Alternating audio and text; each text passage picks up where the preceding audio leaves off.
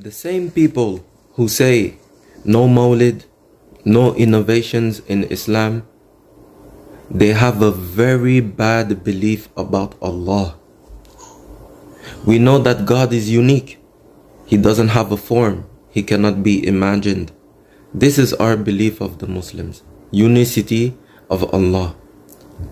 Those people who say no Mawlid, no innovation, take the Quran in the apparent meaning, don't do any interpretation.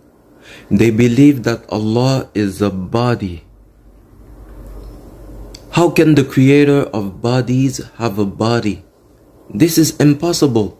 This is not the belief of the Prophet, not the belief in the Quran, not the belief of the companions and the scholars till our day. This is their belief of Wahhabism. Allah says in Surah Al-Ikhlas, which means, Say, O Muhammad, God is unique, Al-Ahad. How can one be unique if he has body parts to sit on the throne? This is their belief. No interpretation. They just want to take the apparent meaning. No, it doesn't work. This makes, according to them, that there is contradictions in the Quran. Because God says that He is unique. Nobody can reach His reality. But they say, no, you have to take the apparent meaning.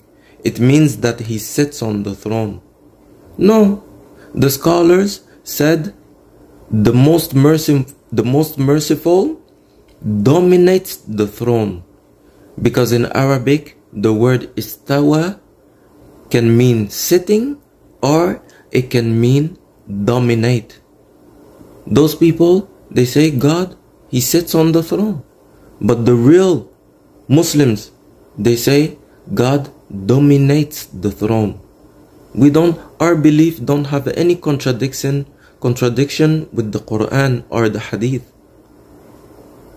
So, even in the belief, those Wahhabis, they are not on the right place.